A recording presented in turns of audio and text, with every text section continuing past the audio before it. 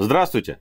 Ну, слушайте, я нахожусь сейчас э, за рубежом нашей Родины, и вокруг меня охуенный вид. Я чуть позже сделаю вам э, врезочку. Просто сейчас не стал на фоне моря как бы делать этот видос по двум причинам. Ну, во-первых, пересвет, а во да даже во-вторых, на самом деле. Во-первых, просто чтобы не сеть э, социальную рознь и не вызывать проклятие в комментах, потому что действительно, увидев человека во время коронавирусной эпидемии, который сидит напротив, на фоне моря, я бы тоже написал ему в комменты, ебаный же ты гандон. Поэтому как бы я совершенно не обижусь, если вы тоже будете так делать. Не надо, блядь, так делать, это шутка была. А, давайте начнем с наркотиков. Слушайте, вот бабка, да, взяли бабку в мясе, в прошлом выпуске я о ней рассказывал, бабке 90 лет. И она, значит, барыжила наркотой. И что выяснилось-то? Значит, что бабка управляла бегунками-закладчиками. Там у нее, типа, было до 35 чуваков, которые, значит, делали закладки, а бабка все это организовывала. И потом при обыске у бабки нашли 13 грамм героина. Где она их прятала, как вы думаете? В трусах.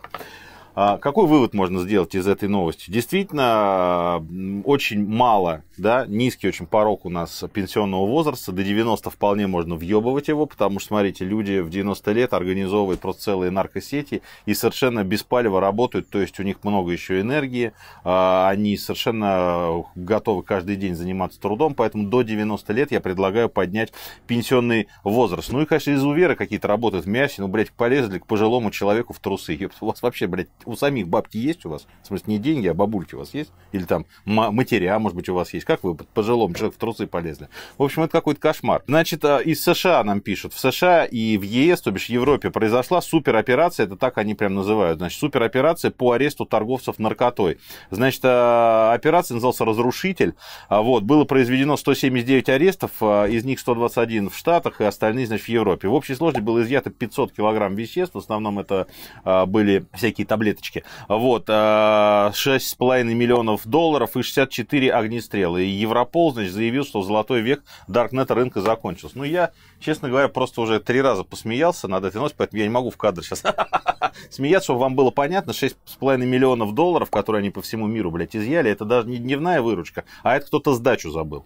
Потому что, ну, вот реально, 500 килограмм веществ из моей программы, вы знаете, что как бы во всем мире э, наркодилеры просто доставляют тоннами наркотики, и это просто, я не знаю, а, можно э, назвать не какой-то блестящей операцией, а я не знаю, чем вы занимались, сука, 179 арестов и какие-то такие копейки подняли. В общем, это какое-то полное говно, так наркомафию мы с вами не победим. То ли дело в Индии, значит, сами копы взялись за дело, они, значит, арестовали продавцов травы, изъяли 160 килограмм марихуаны. Когда, вот помните, мы смеялись над э, православными нашими полицейскими, которые сами растят. Индус нихуя не растят, пиздят все у дилеров, значит, и что, до участка из 160 60 они, как вы думаете, сколько довезли, чтобы сдать как э, конфискат? Один, один килограмм. Представляете, да, 159 они скинули по дороге. Вот это, блядь, уровень работы. Перенесемся на Святую Русь, собственно говоря. Ну, смотрите, э, первая новость, она просто охуенная. Росгвардия решила закупить погоны хрустальные на полмиллиона рублей для высшего командного состава. Делают они это каждый год. Вот так выглядят эти хрустальные погоны, значит, э, за выслугу лет они росгвардейцам дают. В моем понимании, в принципе, я бы какое-то рад предложение еще внес, значит, чтобы делать эти хрустальные погоны полыми, да, чтобы они сразу были фляжками для водяры или коньяка. Туда можно, значит, звезды сразу кидать, потому что вы знаете, да, что а, звезды обмываются у нас, вот, они не потеряются никуда, их очень трудно проглотить. Вы знаете, есть случаи, когда офицеры обмывают звезды и проглатывают. А здесь узкое горлышко ввинтил в этот погон, пьешь, и, собственно говоря, все у тебя хорошо. Вот такая новость а, из жизни Росгвардии. Вот, ну и про геев надо чуть-чуть с лесбиянками поговорить. Вообще ЛГБТ важная вещь на Святой Руси. Значит, смотрите, Общественный совет Тюмени обвинили в пропаганде ЛГБТ. Значит, э, вот такой, обратите внимание, герб и флаг. Символ был придуман еще в 2005 году, но вот сейчас на Общественном совете стали его обсуждать. Смотрите, как выглядит этот герб. Ну, тут, в принципе, не надо быть, э, не надо заниматься герольдикой, да, хотя я как старый специалист в герольдике, я вам сейчас объясню, это сразу, значит, что, вот смотрите, гей-бобер и лесбуха леса, значит, да, они раздирают корабль, да, в корабле, видно, сидят простые русские православные люди, их не видно, они потому что спрятались, они же боятся этих чудовищ ебаных. Скорее всего, дети даже там сидят, потому что кораблик очень маленький для перевозки маленьких человечков. Ну и радуга по фону, она просто совсем уж, если вы, блядь, тупорылый и не понимаете, что это гей-бобер или сбуха леса, как бы вам еще дали радугу, чтобы вы поняли, что это за общественный совет. Я не понимаю, почему 15 лет им не занималась как бы соответствующие органы, та же Росгвардия, например, а я еще тогда ее не был. Ну, просто какая-нибудь полиция могла бы им заняться, я не понимаю. Тем более в Тюмени, да, потому что Тюмень это что такое? Это сердце Святой Руси, да, и она качает кровушкой, то есть нефтью вообще весь периметр.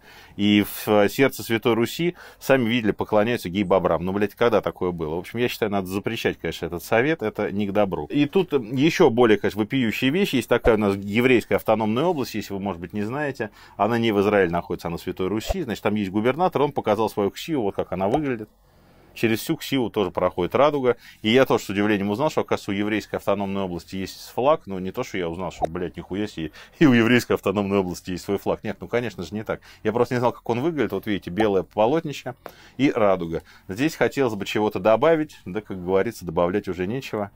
Храни вас Господь. Вот. Дальше, если мы про регионы поговорим, значит, в Хабаровском крае произошла вот такая история, значит, э, министр здравоохранения Хабаровского края Евгений Никонов, он, значит, э, а, ходил в больницу, значит, обследовал, вот, и э, вот он стоит со своим, значит, коллегом, кстати, вот на коллеге надет вот такой халат, а на Евгении Никонове вот такой халат, как вы понимаете, это халат женский, халат медсестры. Блять, я даже тоже не знаю, где здесь шутить. Вот. Просто вот как выглядит этот человек. Просто охуенно. Блять, он выглядит, значит, в женском халате с маской. Ну, я что могу предположить? Ну, во-первых, ему как бы, у него хорошие фигуры, он втесался в женский халат просто потому, что на нем пиздато сидит. Да, это одно предположение. Другое, что он из ролевых игр никаких не вышел. Ну, то есть, может, он просто там в ролевых играх участвовал. Хуяк, надо было срочно посетить больницу. В общем, я не знаю, но в любом случае, министру здравоохранения женский халатик очень к лицу, поэтому э, Евгений Никонов, если вам кто-то будет говорить, что вы, блядь, носите женский халат, что за зашквар, вы так можете ответить, что от зашкварщика слышу, халат мне к лицу. Вот. Слушайте, ну вот это у меня здесь как бы благодать и заебись, да, а на Святой Руси наступают холода, и, собственно, отопительный сезон подкрался незаметно. Ну, как вы знаете, на Святой Руси не принято отопительный сезон начинать тогда, когда холодно, а начинает он тогда уже, когда пиздец наступает. Вот и в Карелии, собственно, а, к главе Карелии Артуру Парфенчикову, значит, в соцсетях обратилась женщина, вот, и говорит, что дома жутко холодно, у меня трое маленьких детей, и, собственно, которые уже заболели, один из них лежит с высокой температурой, и мы замерзаем.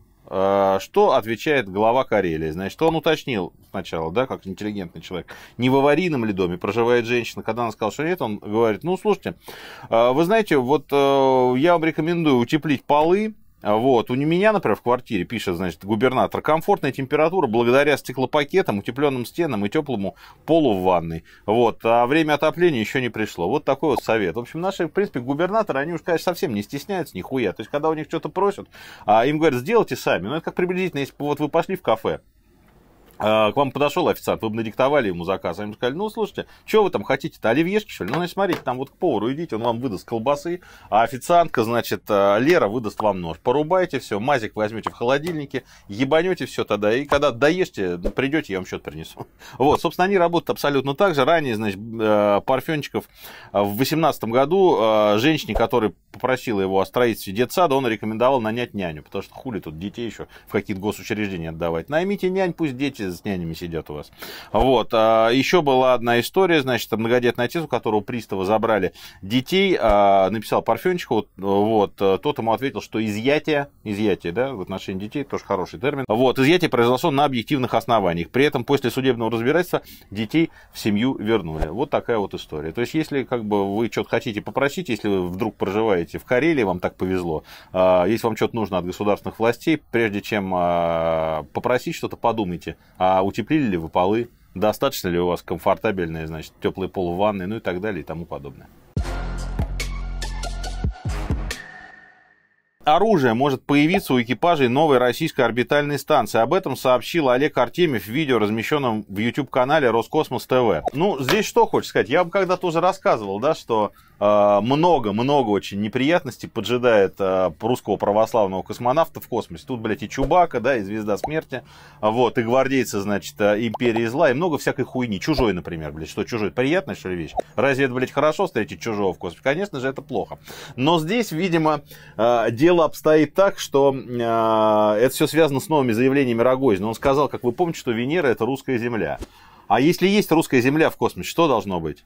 Пиндосы должны обязательно появиться. Пиндосы и бендеровцы. Видимо, тоже нам в Венере они найдены, э, эти формации, значит, извергов рода человеческого. Поэтому, конечно, от них надо э, обороняться. Но я бы из оружия какой порекомендовал Роскосмосу? Ну, понятно, молитва, она у вас всегда есть, у вас окропляют корабли, как мы знаем, священники. Вот, ну, иконки бы не помешали портативные, вот, лазерные указки слепить врага, вот, и э, эти самые нагайки, нагайки. Я предлагаю, чтобы в казачье обмундирование, то есть у вас должны быть скафандры, там дальше папахи, блядь, и вот эти вот самые нагайки, чтобы пиздить, значит, венерианских пиндосов. Поэтому не смейте, действительно, оружие нужно, если мы э, стараемся покорять э, космические пространства, конечно, там без оружия никак. Мы не выстоим просто.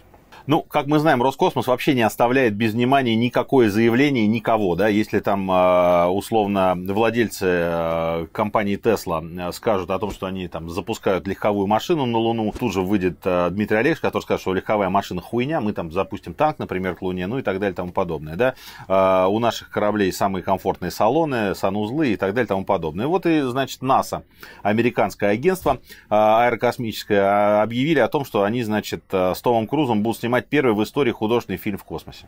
Что заявил Роскосмос? Конечно же, то же самое, что и он будет э, снимать фильм в э, Роскосмосе. Ну, в смысле, не в Роскосмосе, а в космосе. Вот, продюсеры, значит, фильма будут Константин Эрст и Дмитрий Рогозин, куда же без него, как мы знаем, он выдающийся деятель кинематографии. Примут участие в этих съемках Первый канал, студия Yellow Black and White э, и, значит, э, режиссер ленты Клим Шипенко, который э, снимал фильм «Салют-7», кстати, хороший фильм.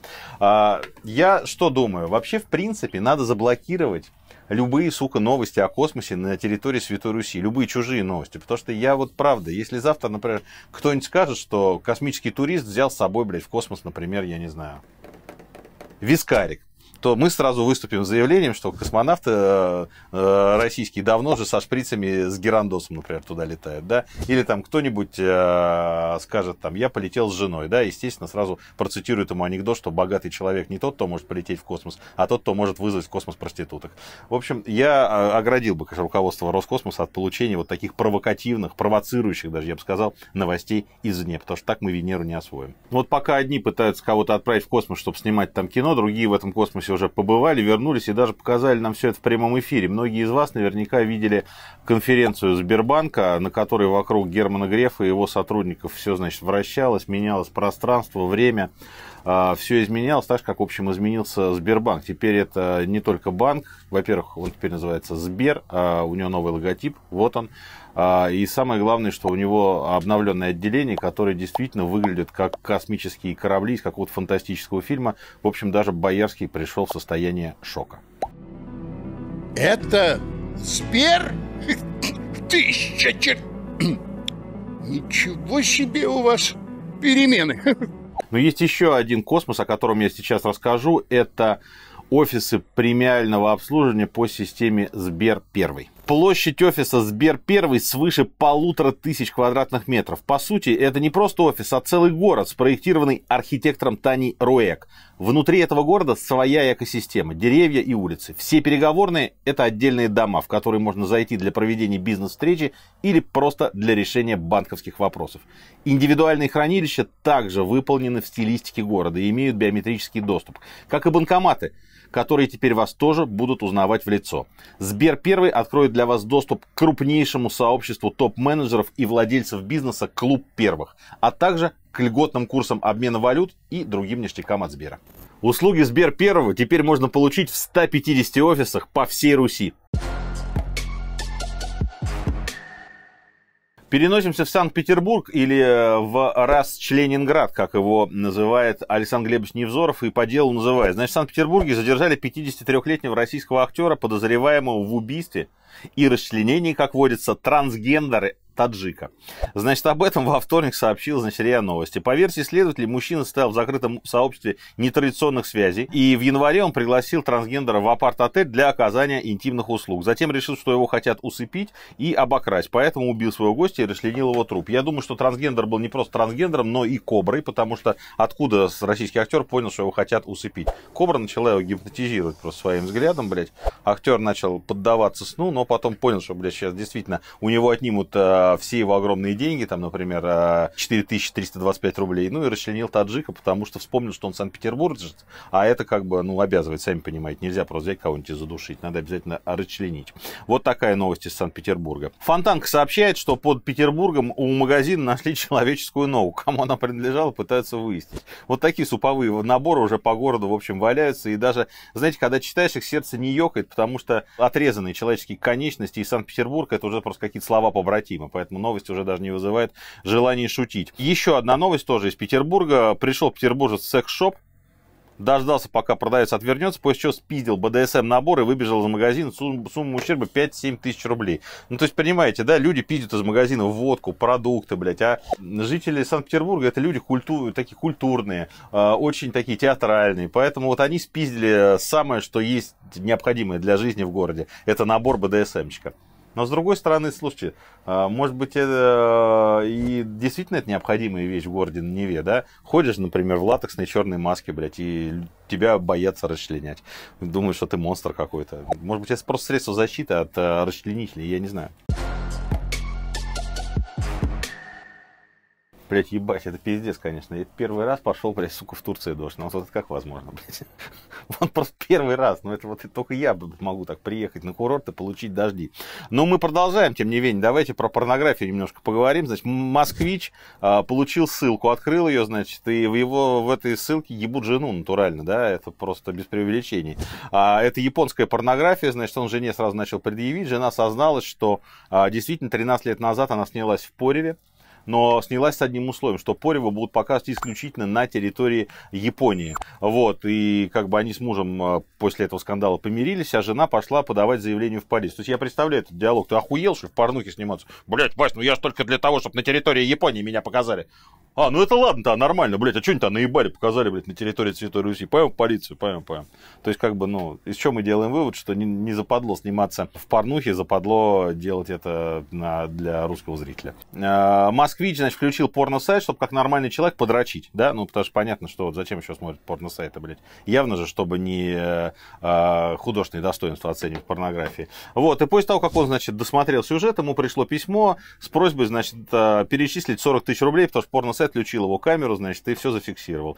Пока москвич залупался, значит, сумму выкупа уже увеличили э, до 80 тысяч рублей, а потом и до 130. А москвич их заплатил, а потом пошел э, в полицию, значит, чтобы сайт этот уже отъебать по-человечески согласно российским законам. И, в общем, нас ждут такие вот судебные разбирательства. Э, я что хочу сказать в заключение этой новости. Когда смотрите Минаев Live, то желательно камеру выключать, потому что я постоянно вижу, блядь, что вы жрете, блядь, на завтрак. Меня заебали вот эти ваши, блядь, кургузы и омлетики, блядь, отколотые пустые чашки, прекратите пить, блядь, кофе вас отколотыми чашками, блядь, это неприятно мне смотреть просто на вас. Ну и так далее. И в каком виде вы сидите за столом? Вы что думаете, блядь, я не вижу, что ли? Давайте внимательнее относитесь.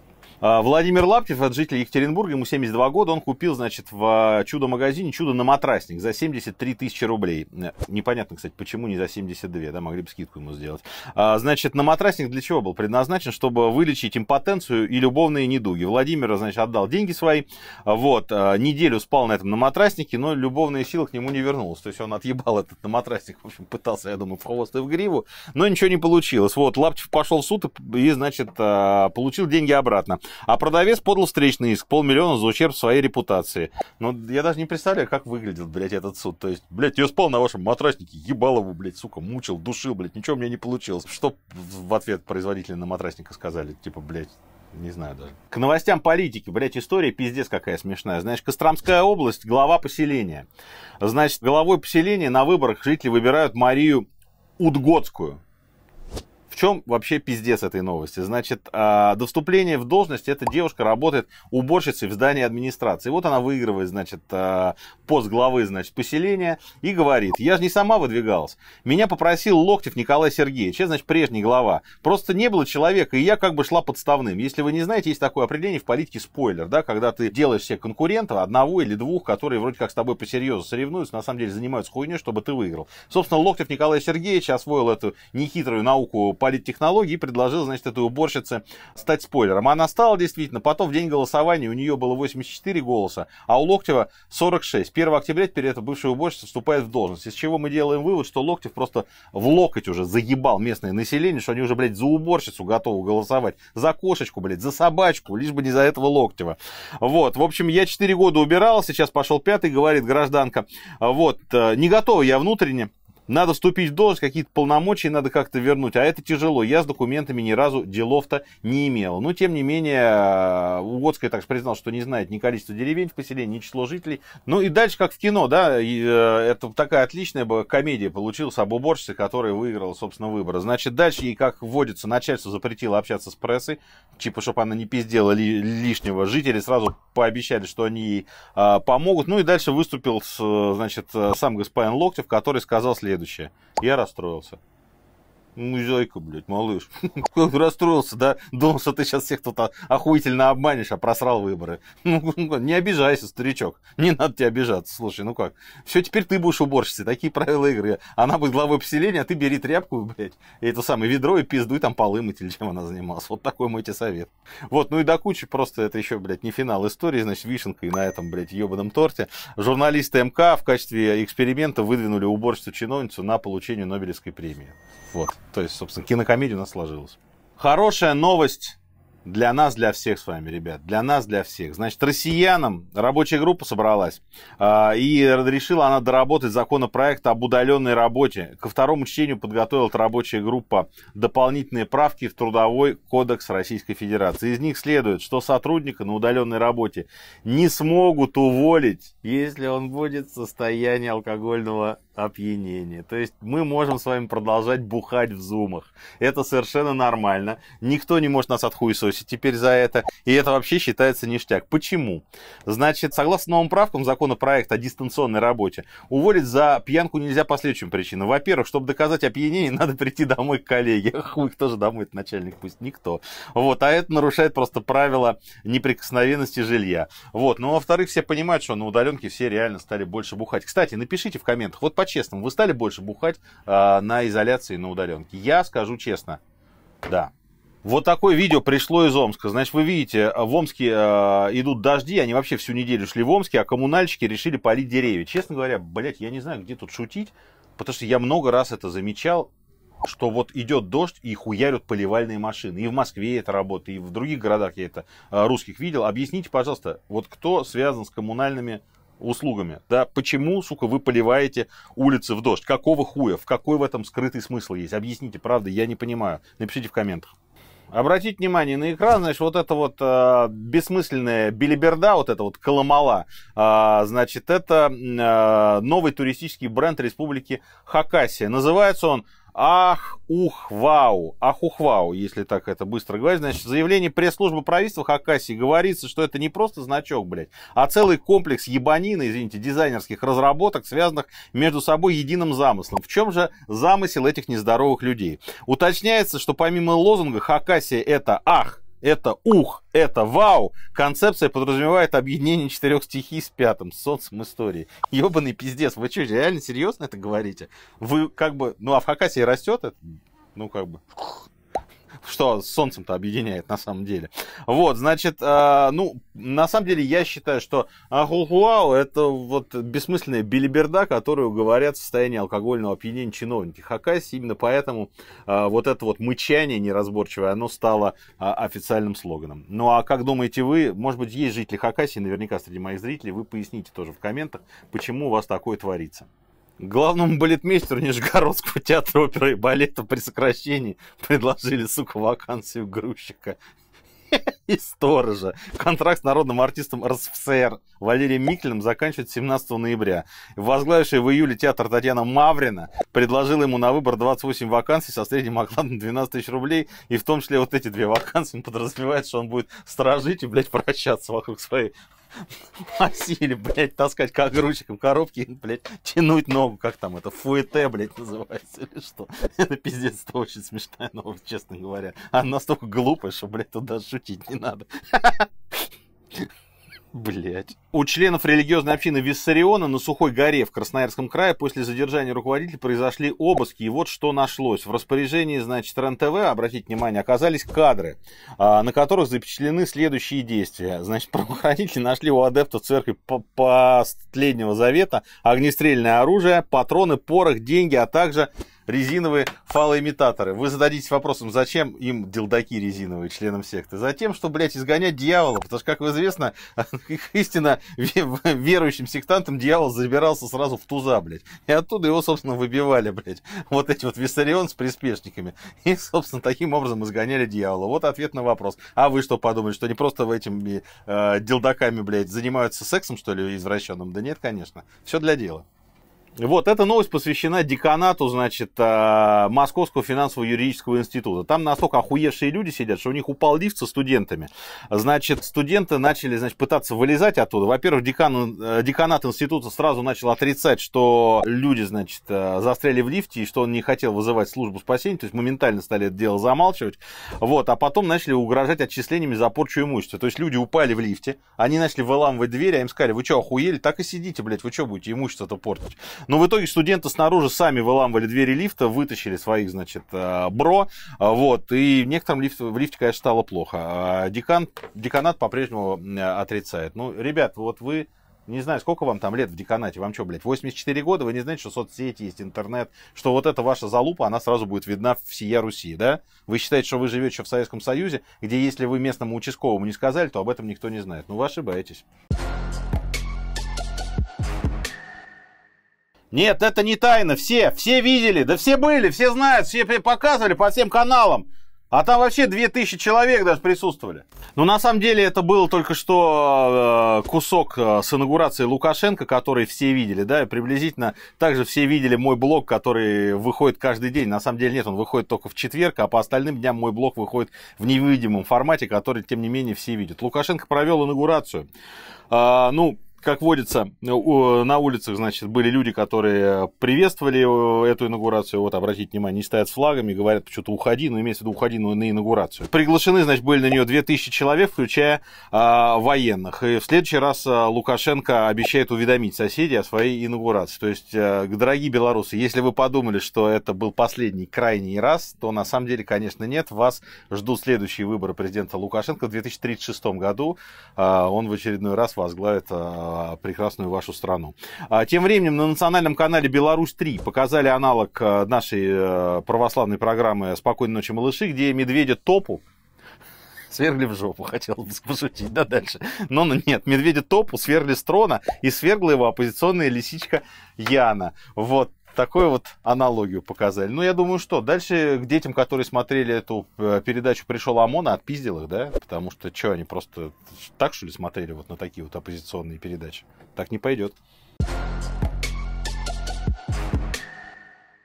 Илья Варламов на этой неделе отличился дважды. Ну, начнем с хорошего его, значит, знака отличия. Он нашел вот такой пиздец. Посмотрите, да? Это, значит, детская площадка, которая называется «Силовичок», блядь. А у меня шутка такая была, значит, а, когда мне в очередной раз после спящих приходили, значит, предложения на, давайте напишем а, еще про шпионов. Я говорю, ну там по, про шпионов пока не хочу. Давайте напишем, например, там про каких-нибудь налоговиков или там про каких-нибудь полицейских. Я говорю, я что, блядь, ЗАО силовичок, что ли? Ёпта, писать все время про силовые структуры-то дайте отдохнуть. Ну вот, собственно, блядь, силовичок, это детская площадка. Посмотрите, значит, ну, во-первых, она, значит, а, какое основное отличие? Она абсолютно максимально уебски сделано. Обратите внимание, сраные совершенно эти машины, вырубленные из говнокартона, вот, какие-то, значит, дети в гимнастерках и в пилотках, а, значит, стенды от юнармии, ну, в общем, весь какой-то пиздец. Даже, ну, ребят, правда, ведь бюджет у патриотических организаций очень большой. Почему нельзя хорошо сделать? Ну, это не, я совершенно не понимаю. Действительно, вот, ну, вы бы вряд ли отправили своих детей а, играть вот на такой площадке. И Варламов тут приводит, значит, в пример площадку на ВДНХ, например, где вот, кстати, как она выглядит, она совершенно охуенно по-другому сделана. Но, тем не менее, значит, вот детям предлагается поиграть в войнушку на площадке силовичок, чтобы вырасти и стать настоящим силовиком и получить что?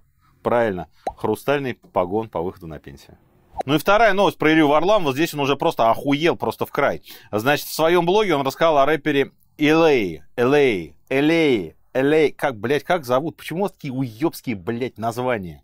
ну, LA, LA, Блять, я не могу это произнести правильно. Который в центре Москвы, значит, сбил трех человек на своем автомобиле. А новый, значит, он украсил фотографии Эльвана, да, знаете, такого человека. Вот так выглядит Элей, вот так выглядит Эльван. Вот, когда представители Эльвана попросили у Варламова разъяснений, тот им ответил, ну что, бля, ошибка. Ну, то есть в стиле а, любимого телевидения, да, Илюх, который мы с тобой всегда хуесосим, да, там также приблизительно отвечает. Вы что, ебанулись, блядь, это, блядь, не Ирак, а Иран. Да вон какая в жопу разница.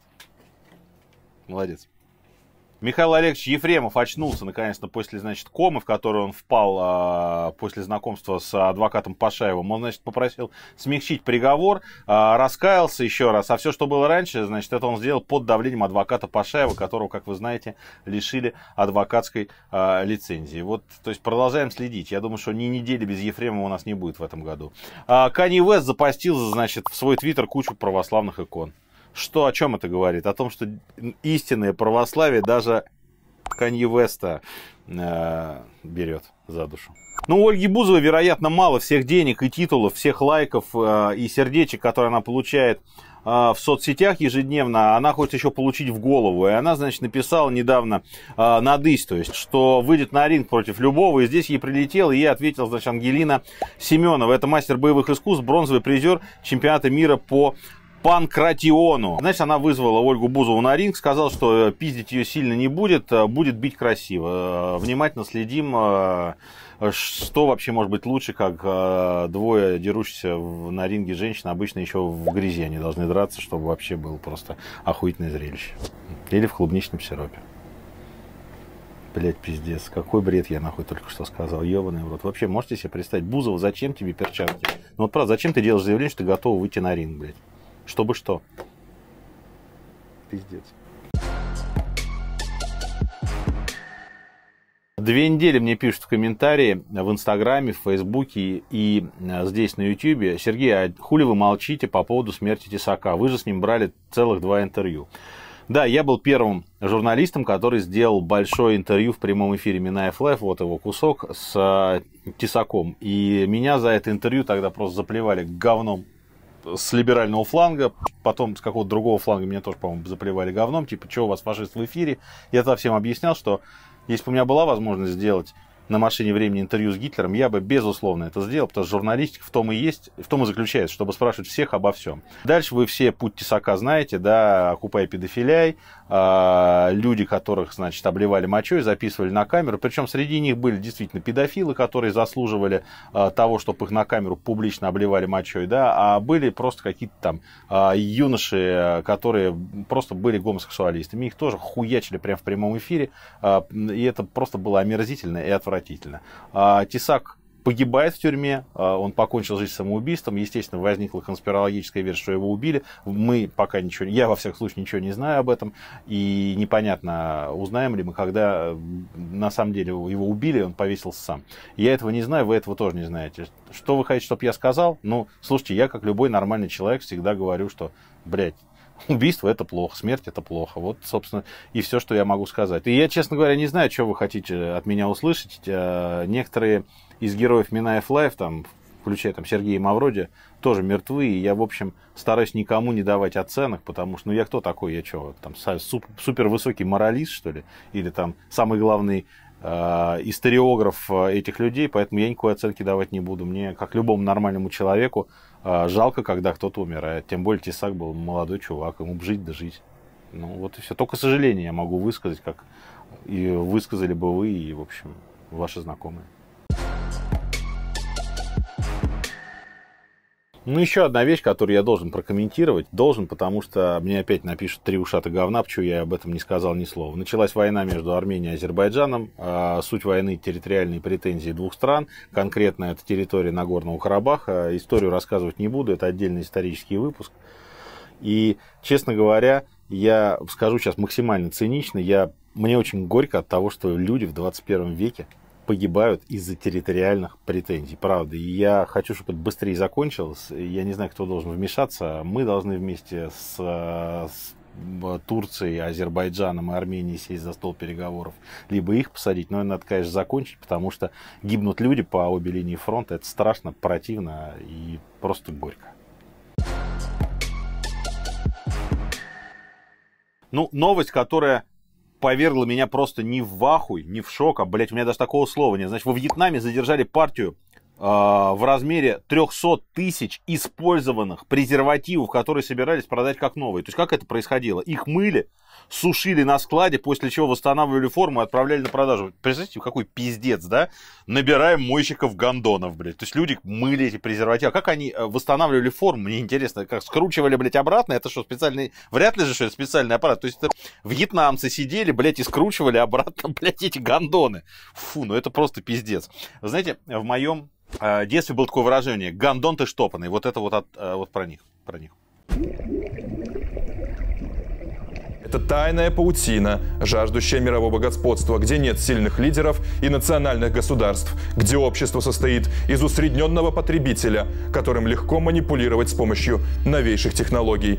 И они совершают на Беларусь не просто политическую или экономическую атаку. Это мистическая духовная война. В цитате дна у нас сегодня выступает Григорий Озаренок. Это ведущий белорусской программы «Тайные пружины политики 2020» на белорусском канале СТВ. Ну, во-первых, я не понимаю, как можно читать эту хуйню по суфлеру и не заржать. А у ведущего это получилось, с чего я делаю вывод, что это, конечно, какой-то киборг, а не живой человек.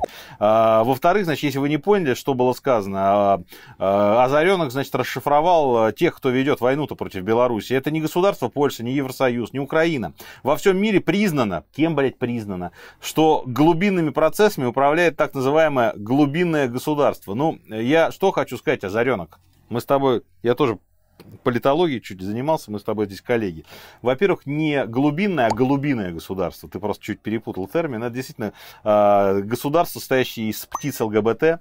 Э, чаще всего это голуби геи, пернатые по-другому их еще называют, они летают и засирают площади наших городов. Знаете, мы в Москве их не смогли победить, а у нас, ты знаешь, есть и ОМОН, и Росгвардия, и все, что хочешь. В Нью-Йорке, в Лондоне, в Париже, везде голубиное государство побеждает. Нет никакой возможности с ним бороться. И у вас в Беларуси это каким-то образом получается, я не знаю, наверное, вы их лазерами э, жжете, лазерами из твоих глаз, Озаренок. Вот, э, собственно, что еще сказал Озаренок?